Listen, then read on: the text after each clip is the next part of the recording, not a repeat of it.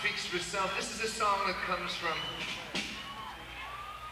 what you might call the the urban blues of the United Kingdom.